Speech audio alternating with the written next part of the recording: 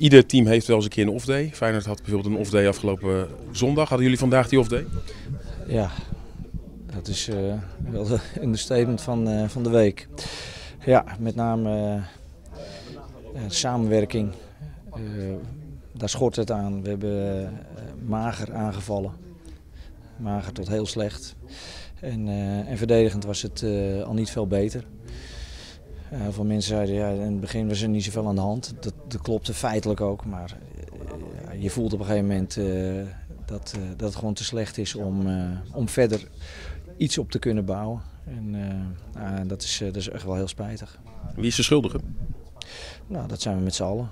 De, ik hoor al namen vallen. En, die moeten dan als zondebok worden aangewezen. Nou, daar ben ik een fel tegenstander van. Dit doen we met z'n allen. En feit is wel dat in, in zowel het verdedigen als in het aanvallen het gebrek aan samenwerking aan het licht kwam. er was het is wat dat betreft eh, in mijn optiek eh, nooit een wedstrijd geweest. Nogmaals, ondanks het feit dat er in het begin niet zo heel veel aan de, aan de hand was. Maar ik voelde vanaf het begin dat het uh, niet heel fijn zat. Zondag kreeg je terecht de, uh, ja, de lovende kritieken over je tactisch vermogen. Vond je vandaag dat het elftal goed stond, deze opstelling? Of heb je achteraf spijt hoe je uh, qua opstelling gespeeld hebt? Nou, je kunt natuurlijk over een systeem beginnen, maar ik denk welk systeem je vandaag ook gehanteerd zou hebben, dat had niet het gewenste effect gehad. nogmaals, wilde wel, maar konden op geen enkele manier. En, en dan maakt een systeem niet meer uit. Het veld was heel vaak lang, timing daardoor matig, kwamen amper in duels. Ja, en dan, dan wordt het een heel lastig verhaal. En dat konden we ook heel slecht omdraaien. Dus ja, wat dat betreft uh, was het uh, behoorlijk teleurstellend. Pogba was de grote man vorige week tegen Feyenoord. Was dit wel een wedstrijd voor Pogba?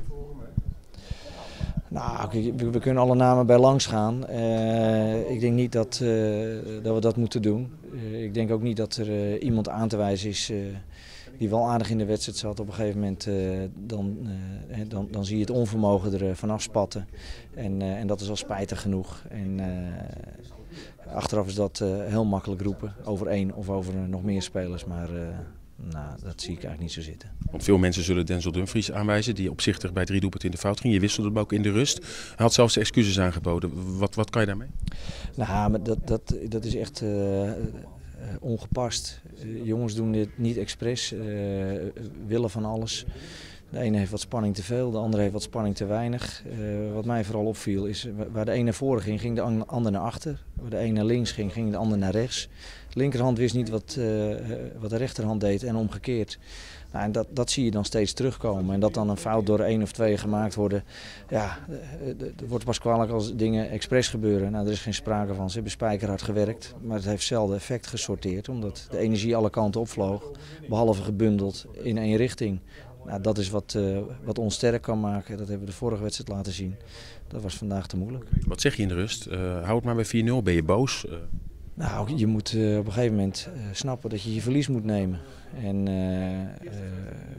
4-5 wordt het met zo'n eerste helft niet meer. Um, de, dus zo reëel moet je zijn. Maar je moet wel de, de tent gesloten houden. Nou, dat hebben we redelijk gedaan.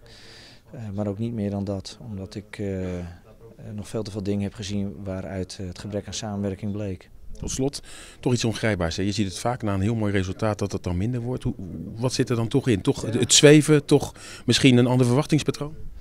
Ja, dat is, wel, uh, dat is ook echt ongrijpbaar. Als je dat zo zou kunnen aanwijzen, dan, dan had je dat misschien op voorhand al kunnen aanpakken. Er waren helemaal geen aanwijzingen voor. Dus deze week zeer geconcentreerd en, en goed en hard getraind, maar vooral met veel kwaliteit. Ja, op geen enkele manier heb ik spelers zien zweven of zenuwachtig zien worden aan de andere kant. Dus dat is heel moeilijk. Ehm, als dat zo is, dan, dan, dan, kun je er op voorhand al wat aan doen. Nou, dat was nu onmogelijk.